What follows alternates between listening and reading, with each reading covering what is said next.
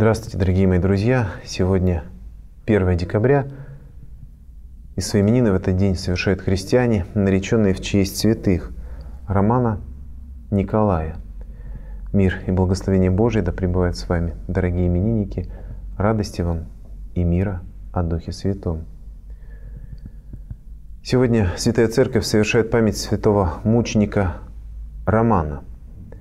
Был он диаконом храма Кесарии Палестинской – во время одного из гонений на христиан переселился в Антиохию, где укреплял христиан в вере своим примером и горячей проповедью. Когда правитель Антиохии Асклепиад задумал разрушить христианский храм, святой Роман призвал верующих отстоять святыню. Он убедил их в том, что если они сохранят храм, то будут радоваться здесь, на земле, в церкви воинствующей. А если погибнут при защите храма – то будут радоваться в торжествующей Церкви Небесной. Видя такую решимость народа, правитель не посмел выполнить своего намерения. Некоторое время спустя, когда в городе началось языческое празднество, и множество людей во всей округе пришло в Антиохию, святой Роман начал обличать идолопоклонство и призывал всех следовать за Христом. Его схватили и подвергли мучениям. Во время пыток мученик увидел в толпе святого отрока христианина Варула и, указывая правителю на него, сказал, «Юный отрок разумнее тебя, достигшего старости, потому что он знает истинного Бога. Ты же поклоняешься идолам». Правитель Асклепиад приказал привести мальчика к себе. На все вопросы правителя Варул твердо и без страха исповедал веру во Христа единого Бога. Разгневанный Асклепиад повелел жестоко избивать мученика Варула, а затем обезглавить его. Перед смертью святой отрок попросил свою мать, которая присутствовала при казни, дать ему пить. Но мать умолила его претерпеть все мучения за Господа Иисуса Христа. Она сама прислонила голову своего сына на плаху, а после казни погребла его.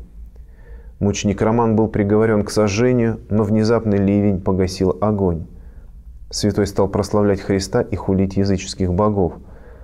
Правитель приказал отрезать ему язык, но и лишенный языка святой Роман продолжал громко славить Господа.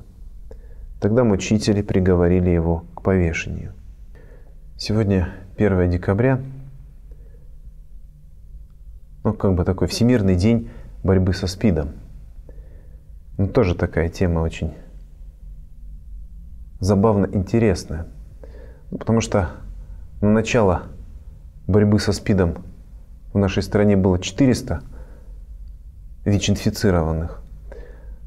Ну а когда эта профилактика с многомиллиардными вложениями инвестиций из-за рубежа она стала разворачиваться, то количество инфицированных дошло до 600 тысяч. И ну, можно тоже на эту тему очень хорошо поразмышлять, что очень удобная тема для управления государствами, для выматывания их бюджета, для нагнетания обстановки. Тема, на которой можно внедрить в школьную систему пропаганду полового воспитания, ну как же детей нужно же учить предохраняться в 10-12 лет. Ну и прочих мерзостей на волне профилактики СВИЧ-инфекции в страны третьего мира, ну, которым сейчас относится наше Отечество в том числе, очень хорошо можно внедрять. Но хочется сказать все-таки о другом, хочется о хорошем, о возможности, которая, ну, по крайней мере, у жителей Екатеринбурга сегодня есть, поучаствовать в акции милосердия с миру по нитке. Сегодня в некоторых храмах Екатеринбурга добровольцы православной службы милосердия собирают помощь для бездомных для тех, у которых вся зима впереди, и которых нет ни родных, ни близких, ни жилья, ни даже еды. Помочь, поддержать и средствами, и хорошей качественной одеждой, обращая внимание на хорошую одежду. Потому что у бездомных нет ни ниток, ни иголок, ни возможности прибить подошву на прохудившемся сапоге, не починить молнию.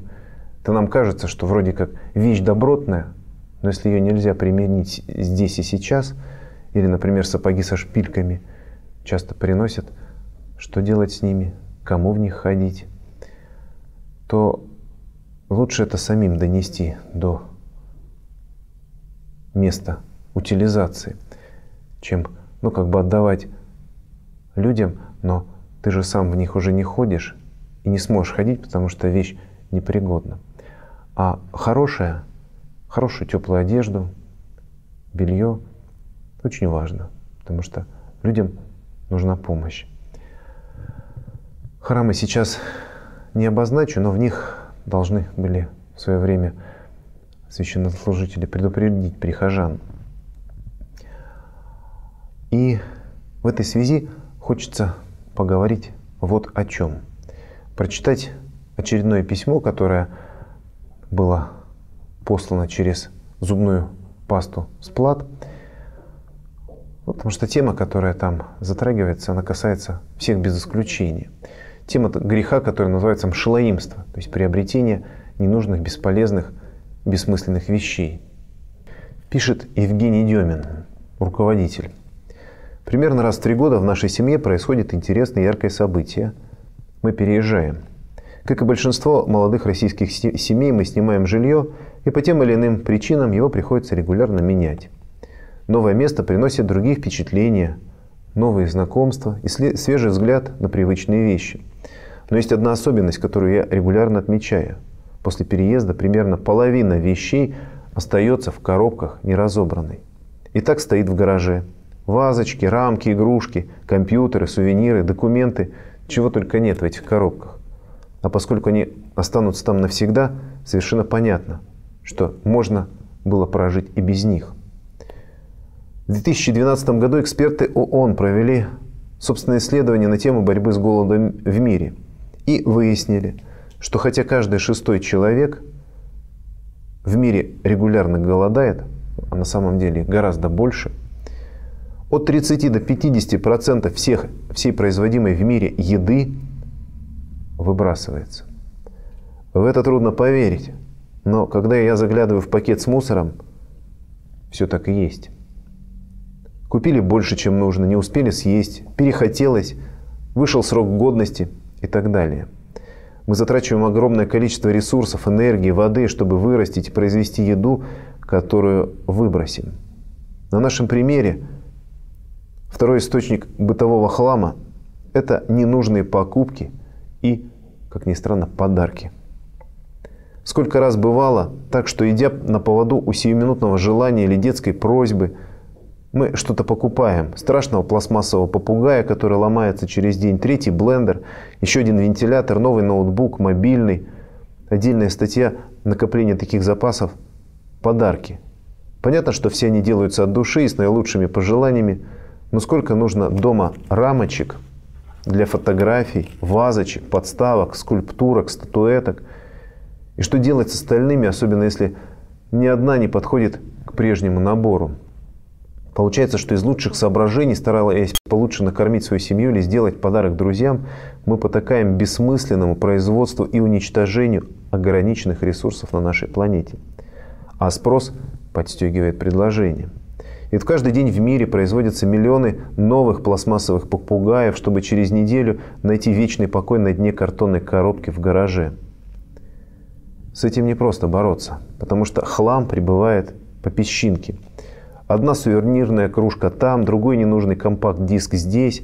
Постепенно, слой за слоем, залежи на балконах, антресолях и в гаражах вырастают до огромных размеров – и только когда третий детский велосипед перестает помещаться в прикожей, возникает вопрос, а как от всего этого избавиться? Мы решили действовать так. Во-первых, писать списки, кому и что купить из продуктов. В большой семье трудно угадать со вкусами, лучше спросить. И количество мусора сразу уменьшилось. Во-вторых, вместо яркой игрушки можно купить книгу. Когда станет неинтересно ее читать, отдайте ее в местную детскую библиотеку. И она еще послужит. В-третьих, всегда задавать себе вопрос перед, перед покупкой. Настолько ли сильно нужна мне эта вещь, чтобы ради нее срубить 100 деревьев и сжечь тонну нефти? Поступая так, проще сохранить независимость от вещей и получить больше удовольствия от жизни. Мой мобильный телефон стоит 6 тысяч рублей, а удовольствие от общения с близкими людьми дает столько же, сколько любое новомодное устройство. Потому что ценность от цены не зависит. Ну и время рождественского поста – это время провести ревизию. Смотреть свои шкафы, обувные полочки. Но если мы не носим вещь в течение года, ну а зачем она висит? Даже если она была когда-то куплена по эмоции, по новомодному предложению, казалось, что дороже ее в жизни нет и прекраснее, чем в ней я себя ни, ни в чем другом не выгляжу. Но если она висит, наверное, она не нужна. Можно собрать и отдать тем людям, которым она будет наверняка нужнее. Людям, в которых от нас эту вещь примет Христос. Потому что я был наг, и вы одели меня. Я был голоден, вы меня накормили. И помогай нам всем Господь.